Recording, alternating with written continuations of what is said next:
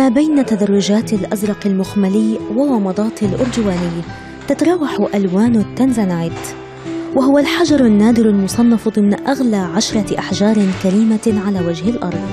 يتجلى بريقه في خاصيته العاكسة للضوء ويستخدم في تصميمات الحلي مثل الخواتم والقلائد والأقراط الزاخرة برونق استثنائي. الناس في مناطق التنزانيت التي تعيش فيها قبيلة الماساي يؤمنون بأنه عند إهداء الأم التنزانيت قبل الولادة فإنه يكون بمثابة تميمة حظ تبارك المولود الجديد. اللون الأزرق هو الأكثر رواجا من التنزانايت فكلما زادت زرقته غلا ثمنه وقد يكلف سعر القيراط الواحد منه حوالي 1500 دولار. غير أنه أقل صلابة من الماس والياقوت والزمرد. لذا ينصح بالحذر من تعرضه للخدش أو الكسر. التنزانايت يعتبر أكثر ندرة ألف مرة من الألماس ومن الأحجار المفضلة لدى الأثرياء والمشاهير.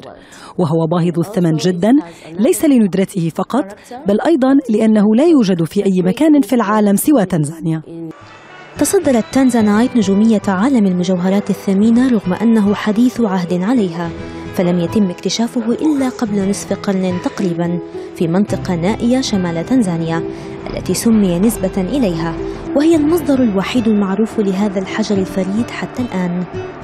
لكن وراء استخراج هذا الجمال قصة معاناة يتحملها هؤلاء. من هنا تتم عملية استخراج التنزانايت لكنه يمر بمراحل كثيرة لكي يبدو على هذه الصورة.